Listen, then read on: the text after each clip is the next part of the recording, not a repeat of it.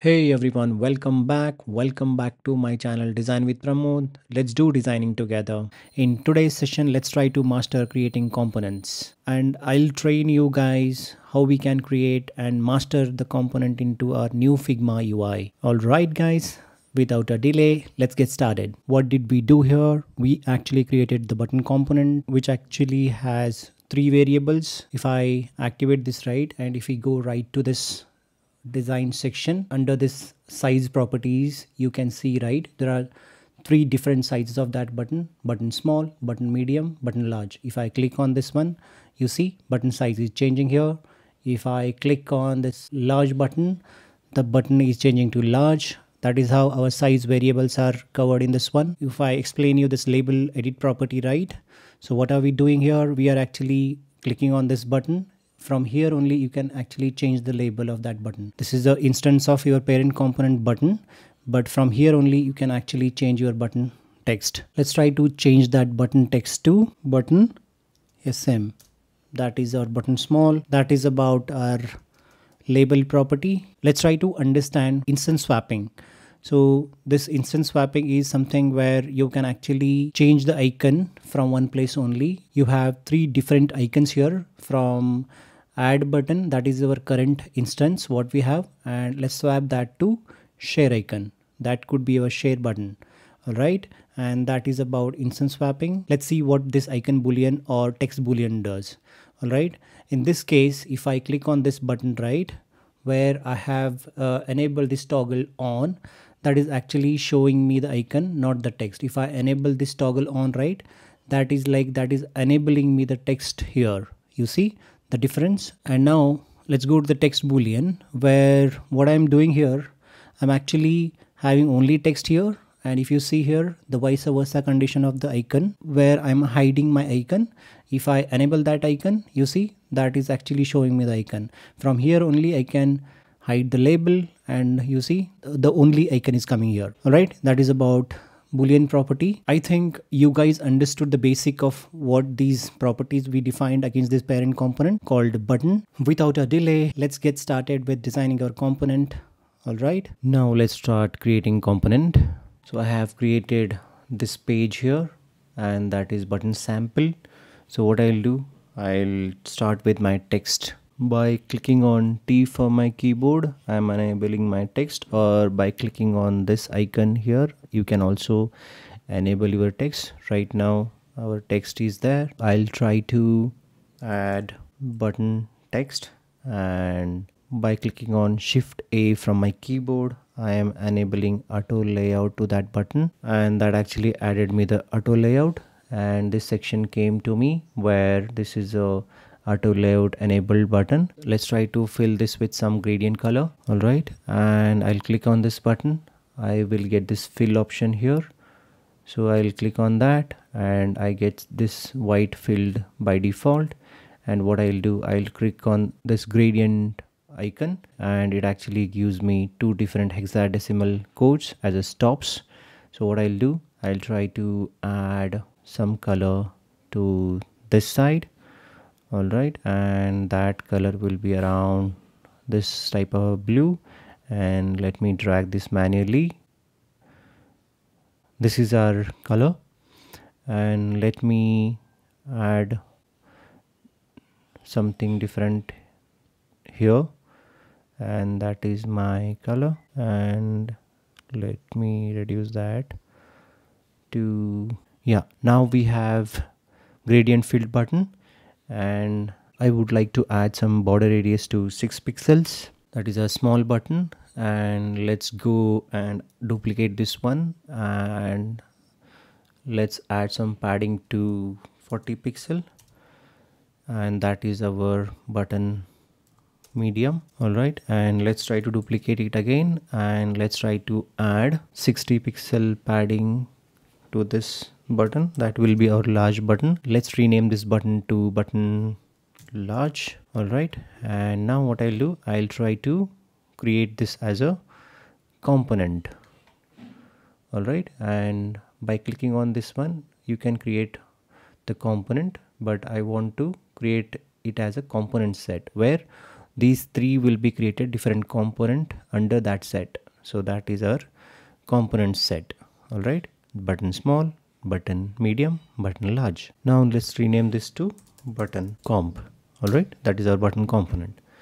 Which and let's try to have one of its instance by going from this asset section. And let's try to search that button. This is our button component here you see. So what we did here we actually created three different variants of this button. That is our variant. Under this property section if you see right that actually created by default property to property 1 and I would like to rename this property to size because we are actually having three different variants here. The size variants I would say. This is small variant this is medium variant and this is large variant. So what I will do we'll try to take this instance and see all these renamings happen. Now let's try to add label property. So by clicking on this text from here I don't see any label property there right? Now under this component section what we'll do we'll try to click on this text.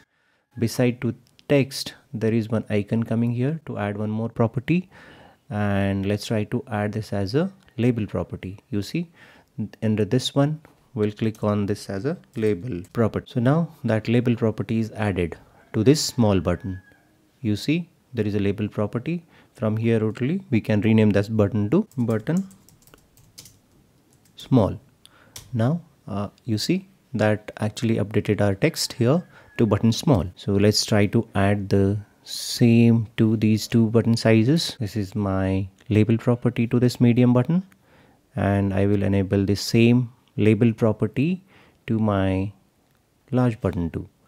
You see now you have this button small. Now you can change the name to this instance to button large you see that is actually updating. Now let's try to create instance swap property. To add that instance swap property what i have done i have created this icon section. Under that icon section i have three icons. Make sure that those three icons are components. And what we'll do under that button we'll take the instance of those components icon components and we'll try to drag and drop there and then we'll try to apply the instance swap property there right? So we'll go here to this icons. We'll go back to button sample what we are working on. And let's try to search add.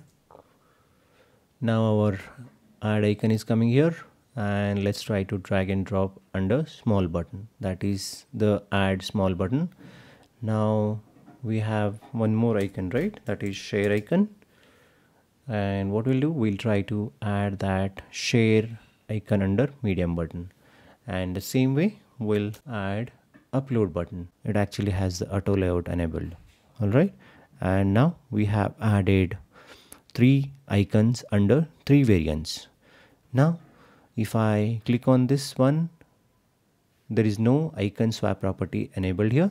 So for that we'll go again to this button component and we'll click on this icon and we'll add you see under this add uh, to this add component uh, this icon is coming here because this add icon is a component. So what we'll do we'll try to click on this one to add that instance swap property. You see the value is coming as a add and it has three icons under that one. All right we'll close that and we'll try to name this as a icon. Because in future i want to change that icon to different. Now here if you see here right this is a medium button what we have. But if i change this to small button it should have icon instance swap property. And under this one i can change to any icon from one icon to another icon so that is instance swapping let's apply the same property to all different variants. All right. So i'll go here and i'll click on this icon. And so this is my icon instance swap property. I'll click on this one. You see that actually added me the instance swap property to this icon too. And and even here that icon is changing from share to add. And i'll do the same for this large button too. Uh, let's take an example and try to understand how we neatly apply that instance swap properties. In one case we have this small button and in other case we have this medium button and in one more case we have this as a large button all right and we have three different icons here but i don't want to have the same icon in this one i want to have this as a share button and i want to have this as a upload button or add button. You see the large button is changed to add icon the medium button is changed to share icon the small button is changing to upload icon. You see, this is the beauty of instance swapping guys. Let me take a small pause here. I would ask you guys to subscribe my channel and like my videos. If you are liking my content, I'll be bringing more and more interesting content for you guys. Now let's go and try to create the boolean property. Let's try to create the boolean property first and after that we'll try to understand how that boolean property works and what is the beauty of that boolean property. All right. So now let's go here to this appearance section. You have this icon to add your boolean property. So right now there is no boolean property added to this icon. So what we'll do we'll try to add this boolean property. If you see in this little pop-up right you have this toggle below. That is actually a boolean property so now I'll rename that boolean property to show icon. And that is my boolean property added here. All right and now let's add the same boolean property to this button variant too. And let me add to this too. So now what it does let's go to this button and or this button or this button. If you observe here in the right side right you have this show icon boolean property. If i disable that icon right the icon is going from this button to and let's try to have boolean property on this text too because in some cases I want to see only icon. So what I'll do I'll go to the appearance section again and I'll try to apply the boolean property to this text. Show text. All right and I will apply the same boolean property to this medium button too. I'll click on this icon again and I'll click on this boolean property what we have created and I'll click on this text. I'll apply the same to this button too. If I if I click on this button you see this is a button component what we have here and its size is small and the label property is also added button small and I can do the icon swapping here only and now about the boolean property what it does in some cases we want to show only icon.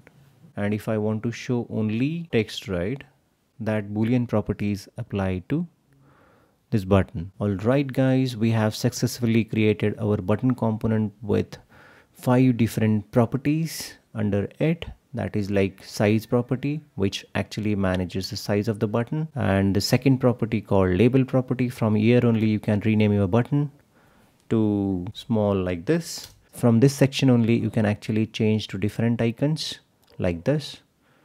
The magic right? And from here only you can actually show your icon or hide your icon. Or from here only you can actually show text or hide your text. And from here only you can show your icon or hide your icon boom. I hope you guys understood how to create the component. All right. And that is all about component creation guys. Thanks for staying till the end. Do like, share and subscribe to my channel. And keep supporting. Thanks for watching.